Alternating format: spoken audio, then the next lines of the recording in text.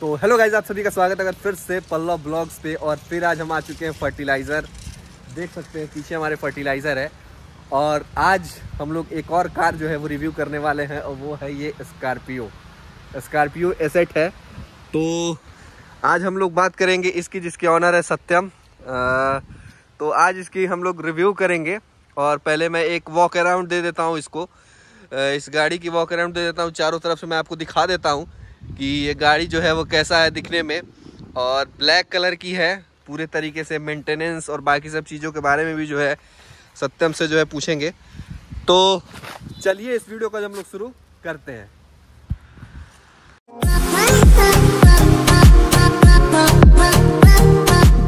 तो दोस्तों, सबसे पहले हम लोग बात करेंगे इसके बिल्ड क्वालिटी की। तो बिल्ड क्वालिटी में सबसे पहले शुरू करने से पहले हम पूछना चाहते हैं कि किस ईयर में जो है ये गाड़ी लिया गया था और कितना चल चुका है। ये गाड़ी 2017 मॉडल की है ये सेट है उस समय सेकंड टॉप थी।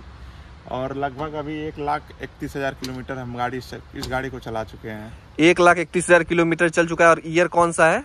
आ, इस समय 2022 चल रहा है। 2017 में हम लोग ने गाड़ी लिया था। लगभग पाँच साल से ऊपर हो गया इस गाड़ी को लिए हुए।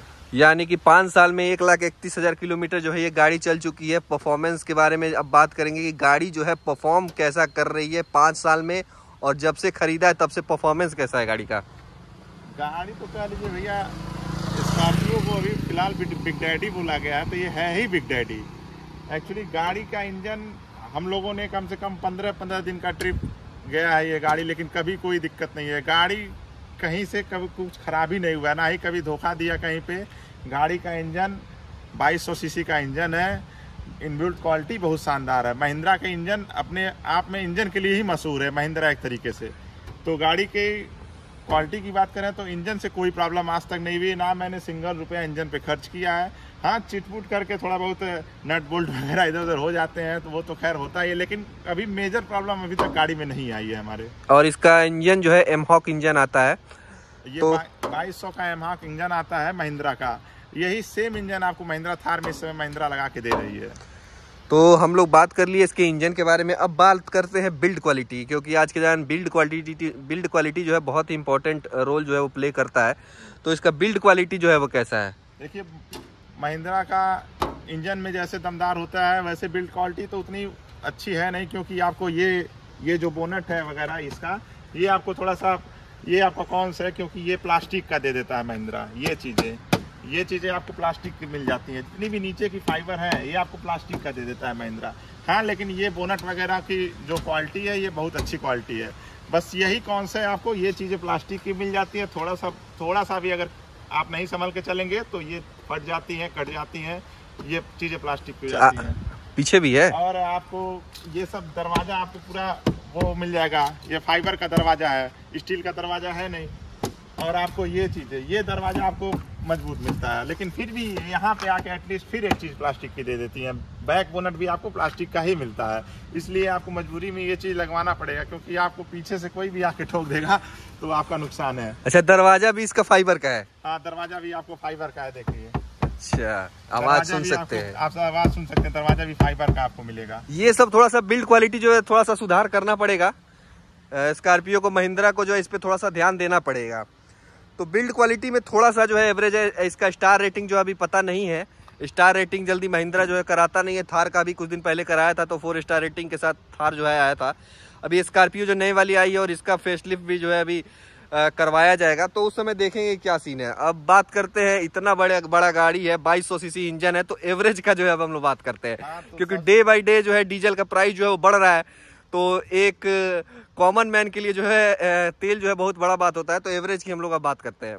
जब भी हम कोई गाड़ी ले ले जाते हैं तो बस सबसे पहले दिमाग में ही आता है उस गाड़ी का एवरेज क्या होगा। एक मिडिल क्लास आदमी अगर गाड़ी लेने जाता है तो वो सबसे पहले एवरेज के बारे में ही सोचता है। तो हाँ उस उस एवरेज और इस गाड़ी की खूबी के हिसाब से ये उस जगह पे बहुत फिट बैठती है। क्योंकि ये गाड़ी अगर हम ऑफ़ ड्राइव भी कर रहे हैं, अगर गाँव में चलना है या मतलब ऑफ़ रोडिंग होकर है, पतला रोड है फिर भी ये आपको मिनिमम आपको 10 का एवरेज देगी। अगर आप हाईवे पे चलते हैं नॉर्मल 80 सौ की स्पीड में तो ये गाड़ी आपको 12 से 13 का एवरेज आपको मिल जाएगा। अभी भी मेरी गाड़ी पाँच साल हो गई है, हम 12 का एवरेज हाईवे पे ले लेते हैं। तो एवरेज में कोई दिक्कत नहीं है अभी भी। एवरेज में तो कोई दिक्कत नहीं है। बारह, तेरह, चौदह, अब इतना बड़ा गाड़ी है, बाईस सीसी इंजन है तो ज़ाहिर सी बात है, बारह, तेरह एवरेज काफ़ी अच्छा एवरेज है। और फॉर्चूनर का भी एवरेज इससे कम मिलता है, लगभग उसका मिलता है, आठ, दस ऐसे मिलता है। तो इसका एवरेज सही है। अब हम लोग बात करेंगे पिकअप की। गाड़ी चलाते समय पहले गियर पे जब उठाते हैं तो क्या होता है? पिकअप सही है? क्या है परफॉर्मेंस में? गाड़ी स्टार्ट करते समय गाड़ी तो एक्चुअली अब एक लाख इकतीस हज़ार चल चुकी है हमारी। तो पिकअप जो पहले की तरह नया की तरह तो है नहीं। लेकिन हाँ आपको ये गाड़ी एक नंबर में बहुत शानदार पिकअप पकड़ता था। हाँ नया रहता था, था अब लेकिन अब कम से कम हम लोग को एक से दो गियर इंस्टेंट मतलब थोड़े दूर जाने के बाद चेंज करना पड़ता है पिकअप के लिए। अब पुरानी हो गई है इस वजह से ये दिक्कत तो आएगी सभी गाड़ियों में। चलिए अब बात करते हैं बाकी सब। ये एक तरीके का व्यू हो सकता है कि इंटीरियर और एक्सटीरियर का व्यू जो है वो कैसा लगता है। तो ये पर्सनल चॉइस है लेकिन अगर देखा जाए तो इससे एक्सटीरियर का व्यू जो है बहुत ही कातिलाना लगता है। इसके दोनों जो है ये देख सकते हैं दोनों इसका जो लैंप है बहुत ही बेहतरीन लगता है। लुक सामने से जो है इसका बहुत ही अच्छा लगता है।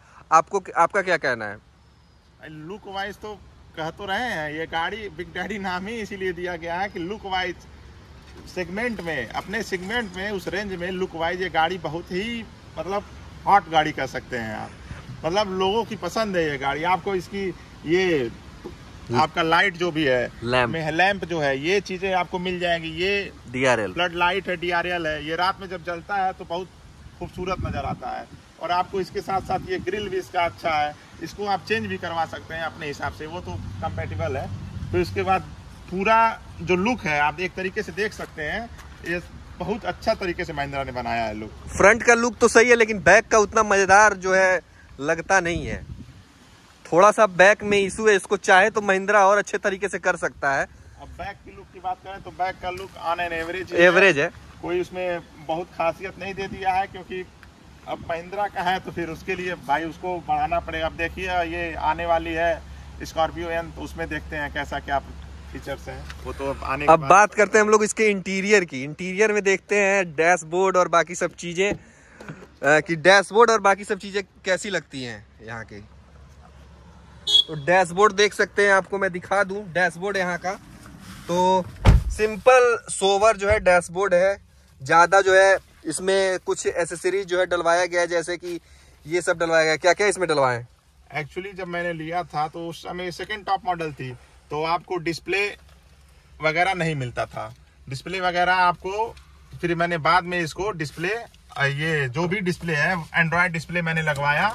उस समय ब्लूटूथ सिस्टम भी या सेट में नहीं मिलता था। ये डिस्प्ले देखिए, मैंने ये फोर्टीन इंच का डिस्प्ले डलवाया है इसमें। तो ये आपको पूरा फीचर ये नया डलवाया है मैंने। ये इसके लिए आप मतलब बारह से पंद्रह हज़ार रुपए खर्च करेंगे। ये चीज़ें आपको मिल जाएँगी, जिसके लिए टॉप मॉडल में आप सत्तर हज़ार, अस्सी हज़ार एक्स्ट्रा देते हैं। उस चीज़ को आप बारह से पंद्रह हज़ार रुपए में गाड़ी सेकेंड टॉप लेने के बाद आप उसको एक्सटेंड कर सकते हैं। अच्छा इसका जो इंस्ट्रूमेंट क्लस्टर है, वो कुछ पुराने टाइप मॉडल का लगता है? क्योंकि पाँच साल हो गया तो जो बाकी सब गाड़ियाँ देख सकते हैं, पाँच साल तक उनका इंस्ट्रूमेंट क्लस्टर जो बहुत ही अच्छा लगता है। लेकिन इसका इंस्ट्रूमेंट क्लस्टर जो है बहुत ही नॉर्मल टाइप का दिया गया है। और इसका डैशबोर्ड भी है जो थोड़ा मुझे लगता है कि डैशबोर्ड को भी थोड़ा सा और बढ़िया जो है बनाया जा सकता था। महिंद्रा की तरफ़ से, आपका क्या कहना है? हाँ डैशबोर्ड में थोड़ा बहुत नॉर्मल दे दिया है, क्योंकि ये स्पेस ज़्यादा रखने के लिए महिंद्रा ने खुद को मतलब डैशबोर्ड को थोड़ा पतला करके और नॉर्मल डैशबोर्ड रख दिया है। उतना कोई खासियत नहीं है, लेकिन महिंद्रा को इसमें अपडेट करने की ज़रूरत है। थोड़ा सा डैशबोर्ड भी स्मार्ट चाहिए। और इसमें डैशबोर्ड में आपको बहुत चीज़ों की कमी खलेगी, उतना फीचर्स नहीं है। जैसे अब अब बहुत सी गाड़ियों में आ रही है ग्लास रखना वगैरह, सारी फीचर्स ऐड कर दे रहे हैं। बस इसमें ये एक बॉक्स है, वो भी बहुत छोटा है। और इसके अलावा आपको डैशबोर्ड में कहीं मतलब आप कुछ रख नहीं पाएँगे, यहाँ भी नहीं रख पाएँगे, यहाँ पे मतलब गिरने के चांसेस भी है। इसलिए महिंद्रा को इस सब चीज़ों को अपडेट करना पड़ेगा। आगे का मैंने आपको इंस्ट्रूमेंट क्लस्टर जो है, बाकी सब चीज़ें दिखा दी हैं। अब पीछे देखते हैं। पीछे का सीट जो है, वो कैसा है, देख सकते हैं। पीछे भी जो है, सही है। पीछे का सीट ऐसा ऑप्शनल था या क्या था सीन एक्चुअली क्या होती है कि आप जब भी महिंद्रा में जाएँगे गाड़ियाँ लेने तो आपको वो ऑप्शन देंगे कि, सर, आपको गाड़ी सेवन सीटर चाहिए कि सिक्स सीटर चाहिए या कैप्टन सीट चाहिए या नॉर्मल सीट चाहिए? तो हम लोगों ने कैप्टन सीट का ऑप्शन चूज़ किया। तो हमें ऐसी सीटें मिली हैं। लेकिन इसमें एक एक प्रॉब्लम है ऐसी सीट लेने में। मतलब बैठने में तो अच्छा है। आप लोगों को ये चीज़ मतलब दिमाग में एकदम बैठा लीजिएगा। बैठने में तो ये चीज़ अच्छा हो जाएगा कि हाँ मतलब ये डिग्गी टाइप का जो फील आता है पीछे वो नहीं आएगा। आराम से आरामदायक सीट है आप बैठ सकते हैं। छह लोग आराम से इस गाड़ी में बैठ सकते हैं। लेकिन हाँ लगेज सबसे बड़ी प्रॉब्लम है लगेज। लगेज आपको नहीं रख पाएँगे इस गाड़ी में। लगेज स्पेस एकदम कम है। आइए हम आपको पीछे दिखाते हैं लगेज स्पेस कितना है। लगेज कम है इस वजह से क्योंकि आगे जो है वो सीट दे दिया गया है। ये लगेज देखिए इसमें कहाँ कुछ रख पाएँगे? थोड़ा सा जो झोला वाला टाइप है, वो रख सकते हैं, ये देख सकते हैं। बाकी सब सामान बंद होने के बाद जो है पूरे, पूरा पैक हो जाएगा गाड़ी। तो बूट स्पेस नहीं है। खैर, महिंद्रा जो है, स्कॉर्पियो बूट स्पेस के लिए नहीं जाना जाता है।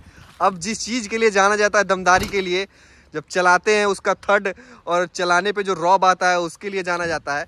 तो चलिए, अब हम लोग बात करेंगे ड्राइव क्वालिटी की सस्पेंशन की और बाकी सब चीज़ों की। तो वो हम लोग बात करेंगे चलते चलते तो दोस्तों, गाड़ी जो है हम लोग स्टार्ट कर चुके हैं और गाड़ी का जो है आपका ड्राइव क्वालिटी ही इम्पोर्टेंट रहता है ड्राइवर के लिए और जो अंदर बैठे रहते हैं उनके लिए। तो ड्राइव क्वालिटी के बारे में क्या कहेंगे?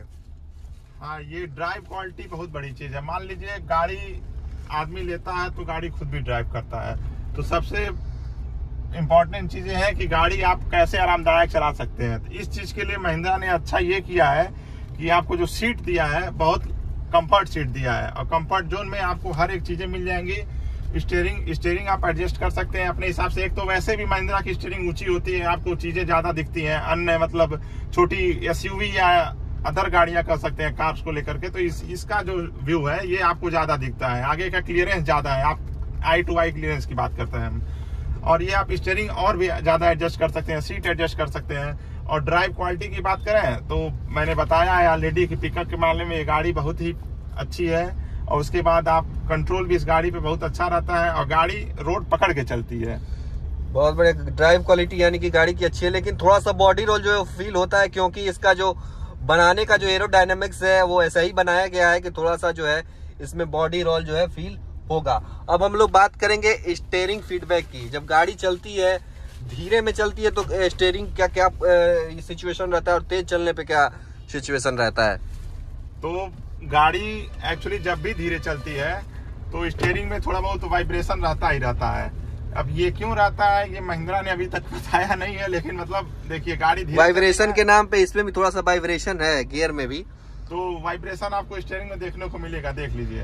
और जब गाड़ी तेज चलती है तो स्मूथ चलती है। उसमें तेज चलने में नहीं कोई दिक्कत है लेकिन जब भी गाड़ी धीरे चलती है तो थोड़ा बहुत वाइब्रेशन आपको इस मतलब गाड़ी में मिलेगा। जो स्कॉर्पियो लेता है वो वाइब्रेशन की चिंता नहीं करता है क्योंकि ये है ही दबंगो वाली गाड़ी तो इसके ऊपर जो हम लोग बात नहीं करेंगे स्टेयरिंग फीडबैक हो गया। साउंड सिस्टम का क्या सीन है? साउंड सिस्टम में मतलब कितना साउंड दिया गया? साउंड का क्या मतलब सीन है? कितना मतलब बढ़िया बजता है? बेस है? क्या है? ये बताइए। साउंड सिस्टम की बात करें तो एक एक मतलब नॉर्मल हम लोग जैसे यंग है एडल्ट हैं तो हम लोग के लिए गाड़ी के साथ साथ साउंड सिस्टम भी बहुत मायने रखता है। तो साउंड सिस्टम भी हम लोग को बढ़िया चाहिए होता है। कहीं घूमने जाना हो, कहीं जाना हो तो साउंड सिस्टम उसका अच्छा होना ही होना चाहिए। तो हम लोगों ने इस गाड़ी में कुछ ऐसा ऐड नहीं करवाया, क्योंकि इसका साउंड सिस्टम जो है, वो चार अलग अलग साउंड दिया है। आपको आगे के दोनों दो डोर पे दो साउंड दिख जाएँगे, एक वहाँ आपको दिख जाएगा और एक आपको मेरे मतलब ड्राइवर सीट पे आपको दिख जाएगा। और दो साउंड आपको पीछे के डोर में दिख जाएँगे बैक डोर में आपको पीछे के साउंड दो साउंड दिख जाएँगे। तो जो आवाज़ें हैं, वो चारों तरफ़ से दबी रहती हैं और आपको पैसेंजर मतलब जितने भी बैठे रहते हैं आदमी, जितने भी लोग बैठे रहते हैं, उन सबको अच्छा सुनने में फील होता है और साउंड की सेटिंग भी बहुत ज़्यादा दी गई है।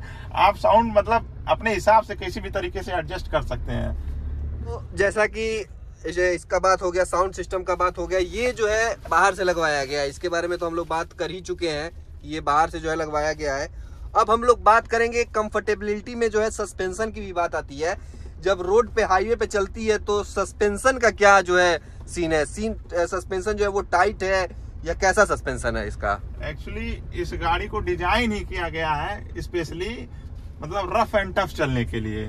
मतलब जब भी आप किसी से भी मुँह से भी सुनेंगे तो महिंद्रा की गाड़ियाँ स्कॉर्पियो हो गई, बोलेरो हो गई, ये सब डिज़ाइन की जाती है ताकि गाड़ियाँ रफ एंड टफ यूज़ हो। तो स्मूथ सस्पेंशन तो आपको मिलने से हाँ। तो गाड़ी कभी भी ऑफ़ रोडिंग चलती है तो आपको मतलब थोड़ा बहुत लचक या बॉडी रोल। हाँ बॉडी रोल आपको बहुत ज़्यादा देखने को मिल सकता है। और गाड़ी हाईवे पे चल रही है तो बॉडी रोल कम रहेगा लेकिन फिर भी आप कभी कभी थोड़ा सा भी अगर आता है रोड है हार्ट मतलब हाथ एंड पहुँच आता है रोड पे तो आपको बॉडी रोल फील करना पड़ेगा। क्योंकि ये गाड़ी ऐसा दमदार बनाया गया है ताकि ये ऑफ़ रोड हो सके क्योंकि गाँव में ये गाड़ियाँ ज़्यादा दौड़ती हैं। तो इस वजह से आपको बॉडी रोल में दिक्कत है। इस गाड़ी में। ज़ाहिर सी बात है, ये कोई आप देख सकते हैं, सामने जो है क्रेटा चल रही है। तो क्रेटा से अगर आप चलते हैं तो उस तरीके का जो आपको फील जो है नहीं मिलेगा, क्योंकि वो थोड़ा सा जो है एक्सयूवी टाइप का गाड़ी है। ये जो है, बड़े टाइप में आ जाती है, ये गाड़ी थोड़ा सा लंबे में आ जाती है। इस वजह से थोड़ा सा बॉडी रोल और सस्पेंशन होने के कारण ये कहीं भी जा सकती है। दुनिया के किसी भी कोने में जो है, ये गाड़ी जा सकती है, भले ही ये गाड़ी टू व्हील ड्राइव है। उससे कोई मतलब नहीं है गाड़ी ये कहीं भी जा सकती है। लद्दाख से लेके हर जगह ये गाड़ी जाती है विदाउट एनी प्रॉब्लम अगर इसमें फोर इंटू फोर दे दे तो सोने पे सुहागा जो है महिंद्रा जो है वो कर देगी। लेकिन अगर फोर इंटू फोर दे देगी तो थार की बिक्री जो है बहुत कम हो जाएगी। स्कॉर्पियो एन जो है, उसमें दिया गया, लेकिन अगर इस गाड़ी में जो है फोर इंटू फोर दे दे तो हमको नहीं लगता है कि थार की बिक्री जो है उतना हो पाएगी। तो चलिए, अब हम लोग बात करते हैं सबसे इम्पोर्टेंट हाथी तो आपने पाल लिया है। अब बात करते हैं मेंटेनेंस की। मेंटेनेंस कॉस्ट क्या है? सर्विस कॉस्ट क्या है? एक बार में अगर जाते हैं तो उसका कॉस्ट क्या पड़ता है? एक्चुअली अब गाड़ी बड़ी रखनी पड़ेगी तो फिर खर्चा भी तो ज़्यादा होना ही होना है। तो बात ये करते हैं मेरी गाड़ी का जो कलर है, वो आपको पता ही है कि ब्लैक कलर है। तो ब्लैक कलर होने के नाते आपको मेंटेनेंस 50 परसेंट अधिक बढ़ जाता है। अगर आप व्हाइट कलर की गाड़ी लेते हैं तो अगर आप उस पर सौ रुपया खर्च करते हैं मेंटेनेंस पे इसको आपको 130 से 140 रुपया खर्च करना ही करना है। क्योंकि गाड़ी पे थोड़ा सा भी स्क्रैच या थोड़ा सा भी दाग वो आपको दिखने लगेगा तो फिर उसको आपको साफ़ करना पॉलिश करवाना कटर पॉलिश मरवाना ये सब चीज़ें आपको करनी पड़ेगी। ये बात करते हैं सर्विस सर्विस की, की। तो ऑन एन एवरेज महिंद्रा की गाड़ियाँ दस हज़ार पे सर्विस होती हैं। दस हज़ार किलोमीटर पे एजेंसी वाले बुलाते हैं कि आप आइए सर्विस करा लीजिए। तो मतलब वहाँ की मेन दिक्कत ये है वहाँ पे महिंद्रा एजेंसी की जो अगर आप अंदर गाड़ी सर्विस करवाते हैं ऑथराइज डीलर के वहाँ तो आपको जो है वो आपको वर्कर्स का जो चार्ज है वो आपको ज़्यादा देना पड़ सकता है। तो ऑन एन एवरेज मैंने लगभग दस बारह सर्विस महिंद्रा एजेंसी में ही कराई है। मतलब आज तक मेरी गाड़ी एजेंसी में ही सर्विस हुई है। तो आप एक तरीके से कर, कर लीजिए तो आपको 10 से बारह हज़ार रुपया एक सर्विस में आपको खर्च करना पड़ सकता है। मैक्सिमम किस सर्विस में जो सबसे ज़्यादा पेड करना पड़ा था? देखिए, मैक्सिमम की बात नहीं है। यहाँ पैरल पे करते हैं। एक्चुअली महिंद्रा का जो मोबिल की क्वालिटी है, वो अच्छी क्वालिटी की होती है। तो महिंद्रा कंपनी वाले जो होते हैं, वो मोबिल दस हज़ार किलोमीटर पे चेंज नहीं करते हैं। तो आप, अगर पहले सर्विस में अगर आप मोबिल चेंज करवा लेते हैं, आपका बारह हज़ार रुपये लगभग खर्चा आएगा। और अगर दूसरे सर्विस में जाते हैं दस हज़ार किलोमीटर के बाद तो आपका मोबिल नहीं चेंज होगा तो उसका, आपका तीन से चार हज़ार रुपये उसका बचेगा। और फिर ये सब चीज़ें आपको लेकर के आपका छह से सात हज़ार रुपया दूसरे सर्विस पड़ेगा। तो ऑन एन एवरेज आठ से दस हज़ार रुपया आपका एक सर्विस का आप मान लीजिए। अच्छा अब हम लोग बात करेंगे प्रोज एंड कॉन्स की। लास्टली मात्र दो पॉइंट ऐसा बताइए जो आपको इस गाड़ी में जो है लगता है प्रोज है। दो ऐसा चीज़ मात्र जो आपको लगता है सबसे अच्छा जो है इस गाड़ी में यही है। दो चीज़।